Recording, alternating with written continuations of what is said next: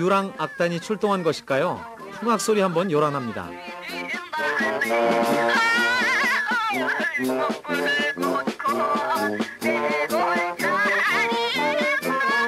산골 사람들을 몽땅 다 불러낼 작전인가 봅니다.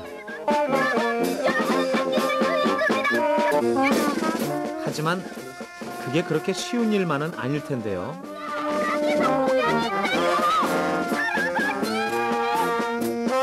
(1996년) 여름 강원도 정선의 산골짝 거기에선 과연 어떤 일들이 기다리고 있을까요?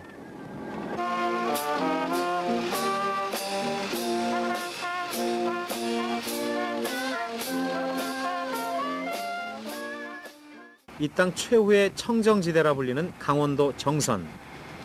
산골짝마다 옹기종기 들어앉은 마을은 우리들 마음의 고향을 꼭 닮아 있습니다.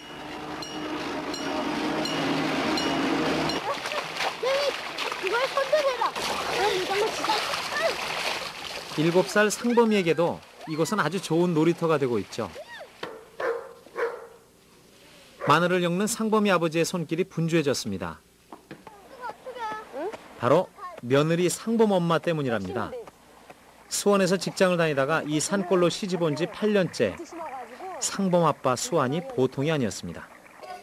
감자 한 톨이라도 이웃과 함께 나누는 소박한 산골 인심. 이곳에는 바로 그런 인정이 아직 살아 있습니다.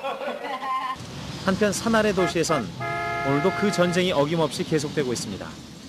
쫓기는 나날 혼잡한 거리에서 좀처럼 여유를 갖기 힘든 우리들입니다. 토요일 오후 하나 둘씩 모여드는 이 사람들.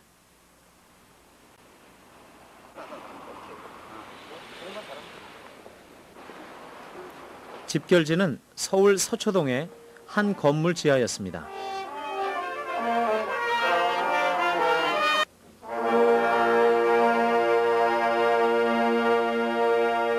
이름하여 서울 윈드 젤로소 앙상블.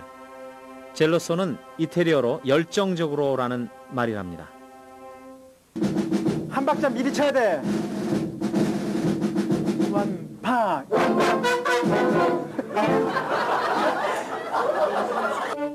지휘자 선생님으로부터 잔소리까지 들어가면서 돈 되는 일도 아닌데 대체 이들은 왜들 일이 열심일까요? 색소폰을 부는 김정철 씨. 그는 신경외과 전문의입니다. 그의 유일한 탈출구는 다름 아닌 음악이었던 겁니다.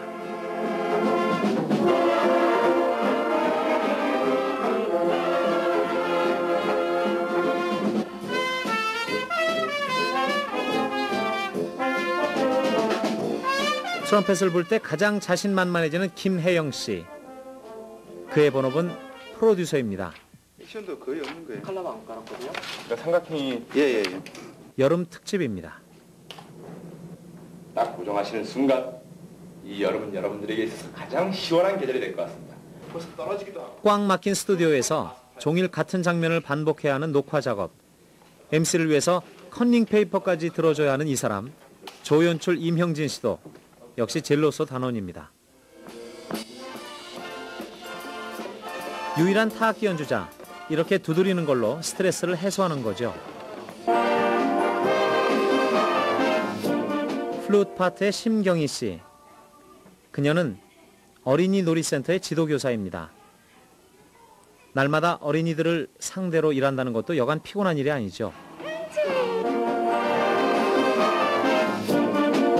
현재로선 음악이 그녀의 유일한 연인이라고 합니다. 부부가 다 젤로소 단원인 회사원 이승열 씨네.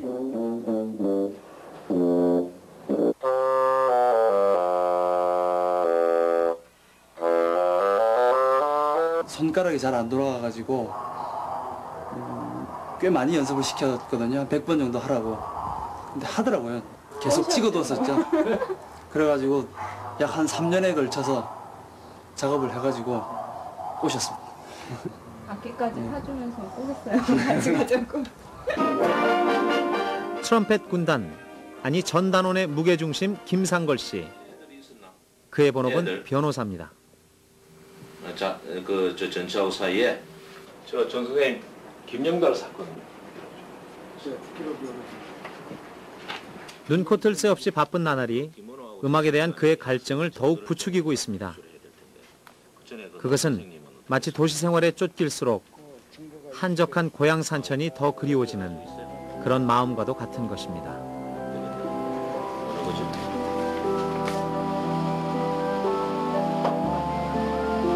아쉽게도 김 변호사의 고향 경남 마산은 이제 옛 모습을 많이 잃었다고 합니다. 그런데 잃어버린 그 고향의 모습을 다시 찾고픈 심정으로 이골저골을 찾아다니던 그가 마침내 다다른 곳이 바로 이곳 정선 땅이었던 거죠.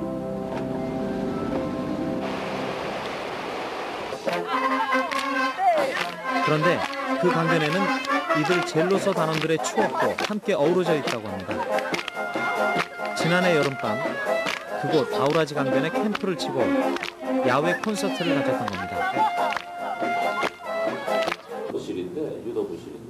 젤로서 단원들 사이에선 아직도 그때의 이야기들이 화제가 되고 있습니다. 유도실에서는 남자가 자고 아 예량이죠. 아 강선배님 좀 부탁합니다. 발 넓은 김상걸 씨가 올해도 나섰습니다. 계신지 모르세요? 아 이번에 저 우리 그 젤로소 그 작년처럼 음악 캠프도 하고 단원들의 마음이 설레기 시작했습니다.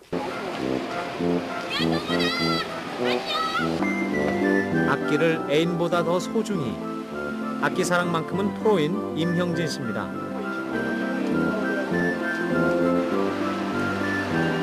누구보다 의상에 신경을 쓰는 이 사람. 네, 역시 지휘자 김응두 씨였습니다. 작년 여름 아우라지 강에서 구사일생한 심경희 씨가 이번 콘서트 여행에 절대 빠질 수 없죠. 경희가 지각을 안 하다니 바람은 통일이 되겠다. 어? 드디어 출발. 얼마 만에 탈출해보는 서울입니까?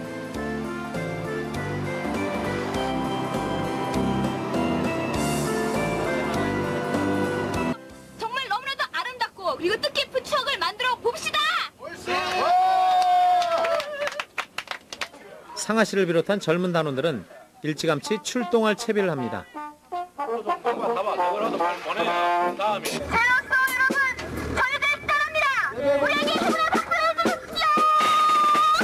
오늘 밤 공연의 성공 여부는 거의 이들 선전단에 달려 있습니다.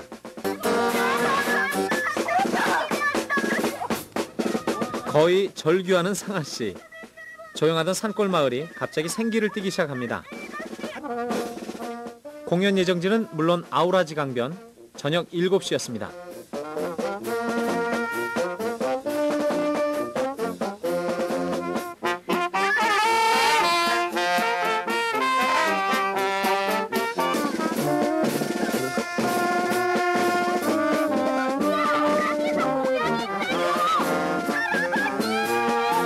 산골 사람들만큼 낯가림이 심한 사람들도 없다는데 맨 윗집 지혜와 지순이에겐 난생 처음 보는 사람들의 별난 악기들이었죠. 한편 강변에선 공연 준비가 한창이었습니다. 작년에 쓰고 한켠에 밀어놓았던 드럼통들을 다시 굴려오고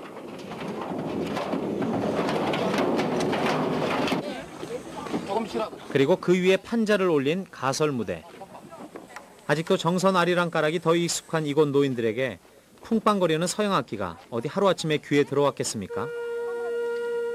그렇지만 그렇게도 좋아하는 음악을 누군가에게 들려줄 수 있다는 사실만으로도 즐거운 마음들입니다. 사람들은 누구나 저마다의 방식으로 남에게 다가갑니다. 젤로소 단원들에게 그것은 바로 음악인 거죠. 여러분 안녕하세요. 저에게 그리고 우리 젤로 사람들에게 여기 오신 분들에게 정선에 대해서 자세하게 알려줄 수 있다 하시는 분.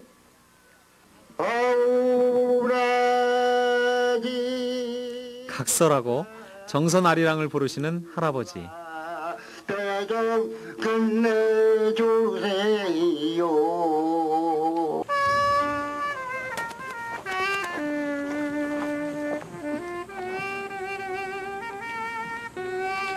귀에 익은 민요가락에 산골 사람들 마음이 서서히 열리기 시작합니다. 하나만 그렇지.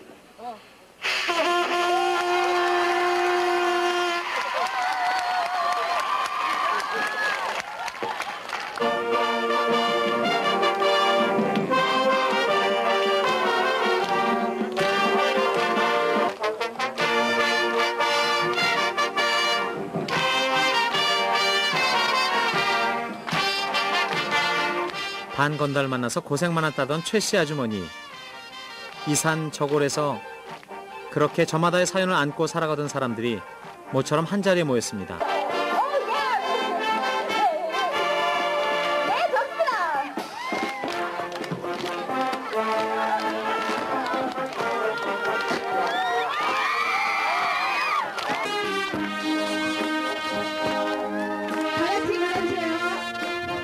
음악과 함께 강물과 함께 여름밤은 그렇게 깊어가고 있었습니다.